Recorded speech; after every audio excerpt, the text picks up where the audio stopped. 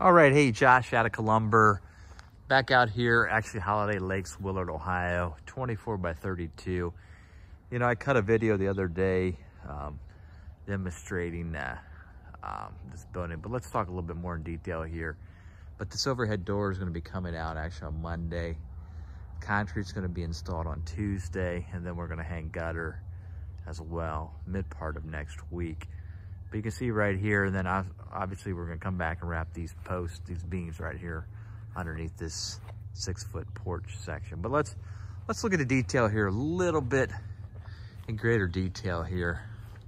Let's check it out right here. Here's the liner panel right underneath the uh, porch section of this. And then right here, we've talked about this in previous videos here about the wainscot, how we do this. You wanna keep this up just a little bit above, that way you don't have rust. If you do enough of these jobs, the metal companies say, hey, if you put it right snug with that, if you put it real snug, and this is tough to do, but if you put it snug, it'll cause rust.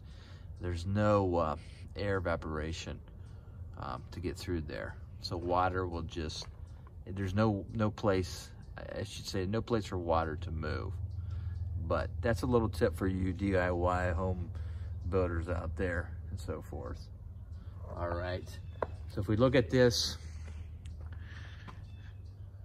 again, burnished slate, uh, charcoal gray, burnished slate, overhead door trim, charcoal gray on that. And then uh, right here, we got the uplifts, vapor barrier, two by four bottom chord, top chord trusses. You here, economical, simple, but fits the neighborhood, fits the vibe of this uh, neighborhood right here and what this uh, homeowner is looking to accomplish. But looking at the grid windows right here, let's check this out. But we've got the grid windows three by three, so forth, and then entry door, man door as well. So, but for more information, actually, let me, let me pan around. I'm gonna actually take a gander, take a walk over here.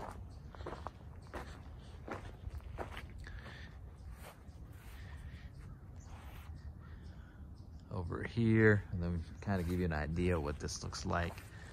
Beautiful day out here, beautiful day.